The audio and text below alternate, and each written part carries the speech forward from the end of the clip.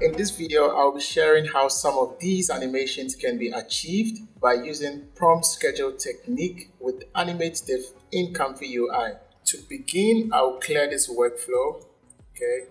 We will be using the workflow provided by Inner Reflections on this page scrolling down the page, we need to have these extensions installed into our Comfy UI directory. We can find these extensions by going into Comfy UI under our custom nodes, which I already have installed. But to do this, you have to select the directory path. Then you type CMD and you click enter select all of this. Control c you come back to the terminal and you just paste this here. Once you hit enter this is going to duplicate uh, the extensions required under your custom nodes which i already have here. And also i have my comfy ui manager as you guys can see. We don't need this link because we are not using control net yet. Once all of the installations is done for the extensions i'll just run my nvidia gpu we need a workflow which we are going to use by inner reflections. We can find this on the attachments. We are going to use the text to vid with prompt schedule. I already have this downloaded. All you need to do is that we come back to Comfy UI, click on load to load up the workflow by inner reflections. Once I have this opened up, uh, we are missing a few nodes. We have to use the uh, Comfy UI Manager. We come to the manager, we go to the install missing custom nodes, check on this box, click install. Once this is done, I'll just uh, close this, update Comfy UI, close this, and I'll also close this. Restart Comfy UI once again. Always make sure to close your terminal, reopen Comfy UI from here. We are going to be using this checkpoint RPG Artist Tools. So click on the download here, choose the safetensor file. We save this under checkpoints and uh, yeah, this is supposed to be here. Back to Comfy UI, make sure we have the Animate Diff models installed. If you don't have this, go onto the Hugging Face page. We need to download this MM models for Animate Diff place them into your directory of Comfy UI custom nodes where you have your models and back into Comfy UI. Down here, we have the number of frames, which means the duration of our animation. I'm going to change this to 75, click OK. From here, the next node is the width and the height. So I'll be using the default of 152 by 768. And uh, for our checkpoints, I'm going to select the RPG Artist Tools. Our VAE, we are just going to leave it at default. So our next node will be the animate diff nodes. And here under animate diff loader, I'm going to select the checkpoint for V15, V2. From here, we move to the prompt, which is the main thing uh, we need to focus on. And this is where we put our frames over time to change our animations.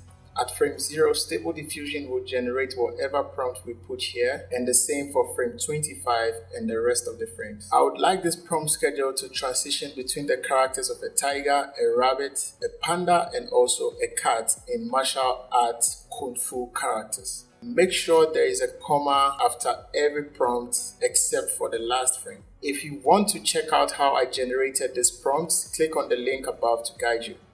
We will leave everything else at default. And next is the K sampler. And when we come here, I'm going to put in the settings of 30 for steps. So I'll keep this at 7.5. Sampler name, I'll go for the DPM uh, 2M site E. Change the scheduler to Karras. Delete this because we don't need this node. We only need a video I'll keep this at 8 frames. You can name this to anything you want. Um, I'll just click on Queue prompt here to see what we get from the default inputs of all our settings.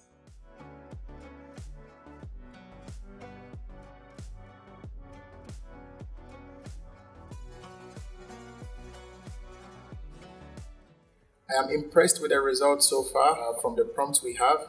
I just want to also include a LoRa. Let's double click here to search uh, LoRa. I'll click on the LoRa loader. I'm just going to change this to the XL more artful LoRa. Take the models into the model LoRa here. Continue from here into the animate diff loader where it belongs. Take the clip here back to the LoRa in. Take it out in this way. I'll keep everything else at default with the string. We can start to put out our high-res fix for Animate Diff. So if we come back to this page, By looking at the saved image, this can guide us to create this into our workflow with AnimateDiff. Double click to load the upscale. We need another K sampler.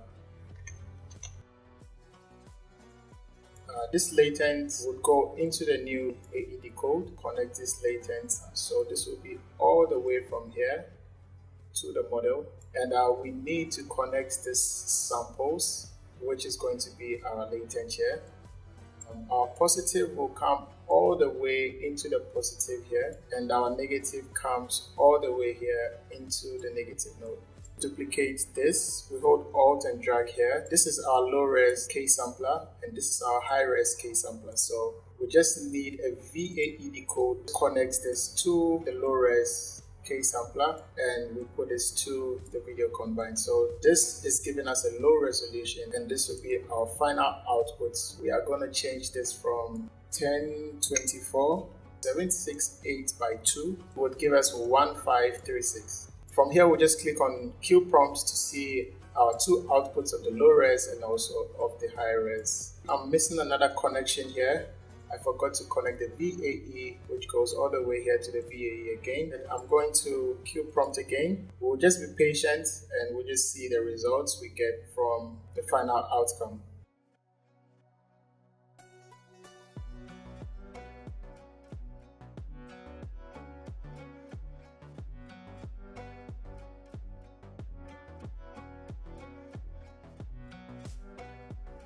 Alright, so we have our first generation here, which is low res. The K sampler is also working to give us the high res version.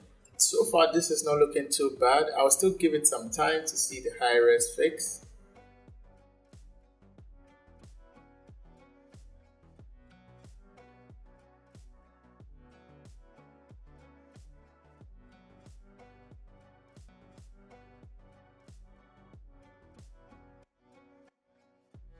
Right, so this is looking great from the transitions into each prompt. AnimateDiff is really doing a great job with the prompt scheduling technique and our prompt input. If you guys enjoyed this video, destroy the like button, keep exploring with other AnimateDiff models and checkpoints for different results. If you want to put your ideas into generations, watch how this prompt trick can guide you and save you time.